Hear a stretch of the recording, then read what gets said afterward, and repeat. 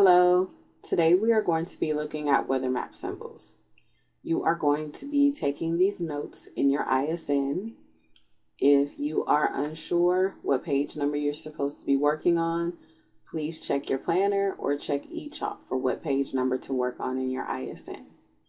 During the weather unit, we are going to be taking a look at three different types of fronts cold fronts, warm fronts, and stationary fronts.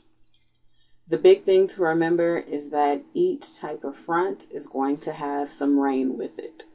Cold front, warm front, and stationary all have rain. A cold front is usually symbolized with the little triangles.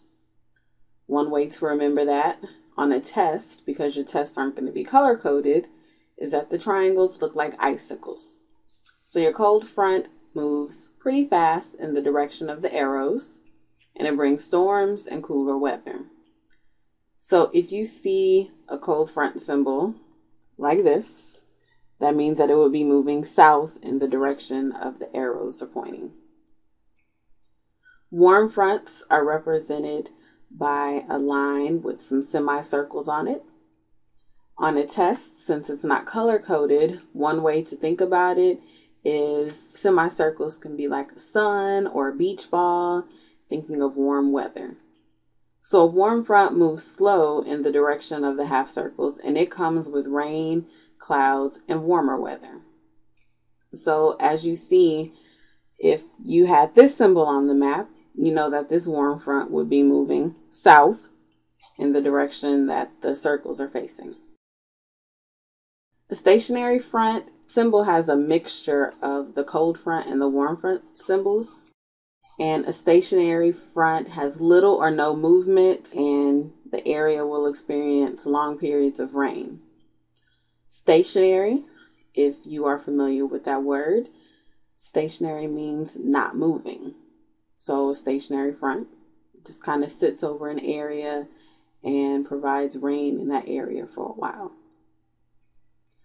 The second type of thing that we're going to be looking at on the weather maps are high pressure systems and low pressure systems.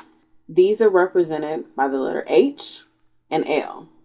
Sometimes they'll just have the symbol by itself, and other times the symbol will have a circle around it.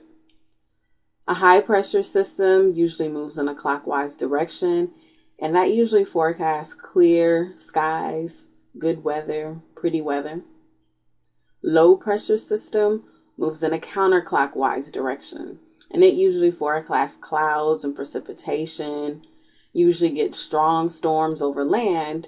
And if a low pressure system develops over water, it could eventually turn into a hurricane.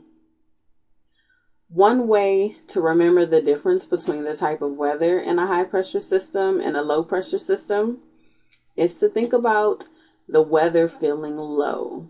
Think of a person feeling low.